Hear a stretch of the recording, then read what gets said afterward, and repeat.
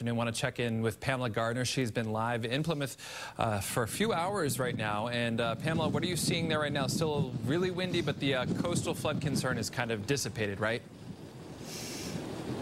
Yeah, exactly. Actually, earlier we had that biggest high tide time, and um, we did have some flooding issues across Plymouth. Right now, what we're dealing with as we go to low tide, the winds are whipping, the water height is starting to go down, but still wave heights offshore 20 up to 30 feet, and the wind just relentless. Our weather watcher, Denise from Plymouth, texted me. She's without power from time to time, as half the town is here in Plymouth. She says 55 mile per hour gusts and sustained wind of 36 miles an hour. So that has verified a blizzard here, and we expect about 18 to 24 inches of snow. So far, we have about six inches, so a lot more to go. Want to show you some video from earlier because of that high tide right after 9:15 this morning.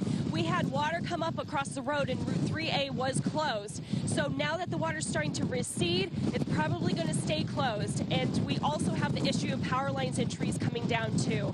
But I want to show you um, what the fire chief here from Plymouth had to say about conditions across the town.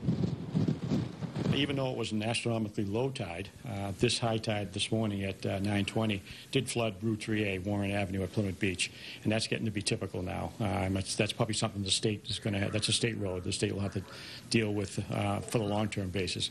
But uh, it's closed down now, and uh, Mass DOT is handling that.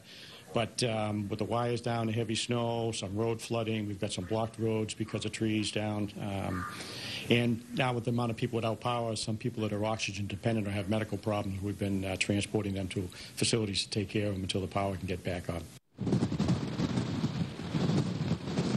And it's so dangerous out here for crews to try and get the power to get back on. It's going to be a while, so this is a long duration power outage probably across the South Shore.